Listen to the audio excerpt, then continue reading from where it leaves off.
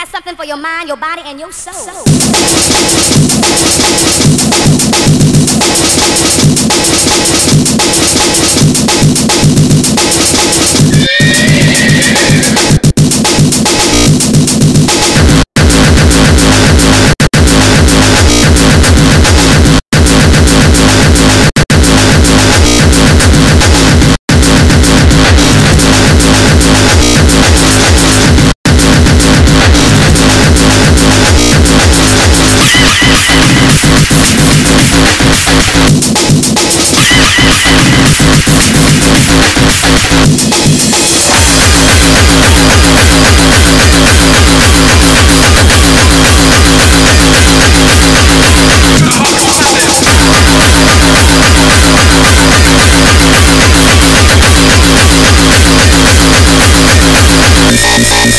Thank you.